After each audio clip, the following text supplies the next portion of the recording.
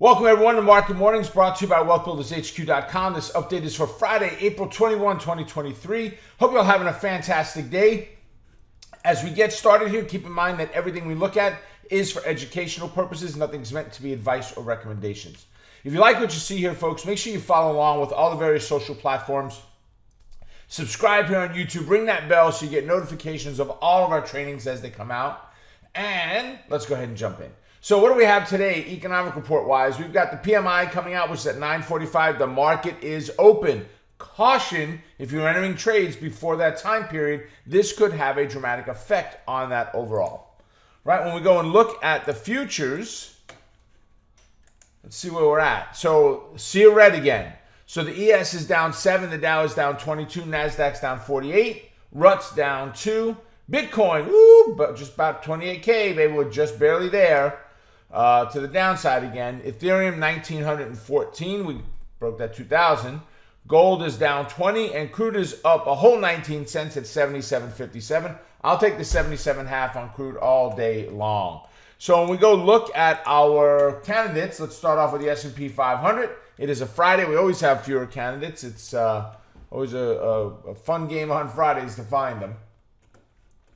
So we were down yesterday below the eight moving average. We're down again yet this morning on the S&P. That eight is critical, right? It is critical. If we cannot get above the eight in the 41.45, I'm looking at 40.94 as the next downside target, where there is confluence right now with the 21 moving average. So a lot of added strength in that area.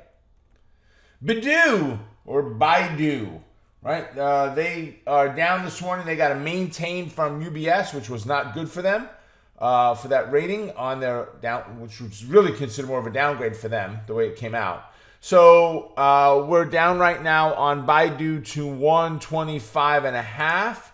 So I'm going to look at a bear call spread above uh, 131.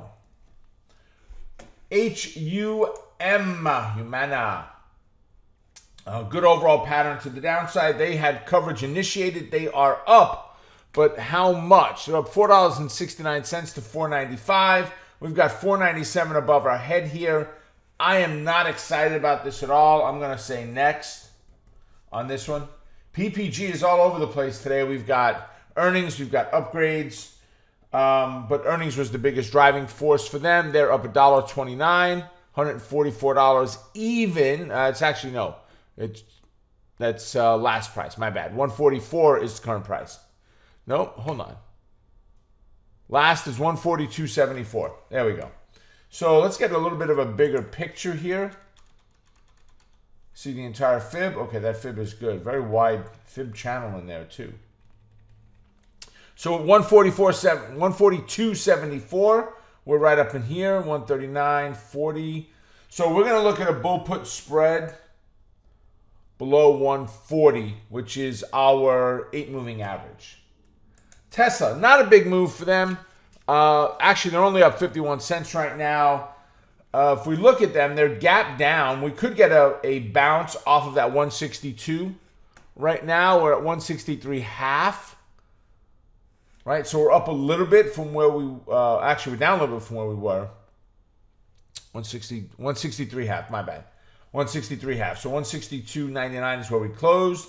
So we could look at a bull put spread below 162, I would be doing an aggressive. I just so you know, I am not doing a spread on this today.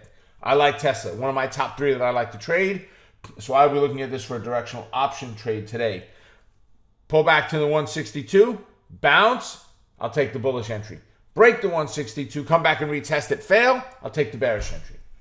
United Healthcare is also on my list day in and day out. Uh, they had coverage initiated on them. They're up $2.04, 489 and a half right? They're in a bearish bias uh, of where we're at right now. 489 half doesn't get me back above that level. So I'm going to look at an option trade only.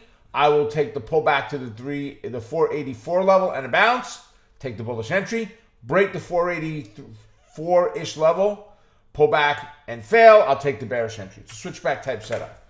There you have it, ladies and gentlemen. Enjoy the Friday. Watch that 945 update. Make sure you go ahead over to wealthbuildershq.com and get yourself registered for Brandon's class today, which is Trading Coaches Playbook. We do every Friday at noon. Do not miss out on what we've got planned for you today. All right, take care, everybody. Good trading, and I will see all of you on Monday. Bye for now.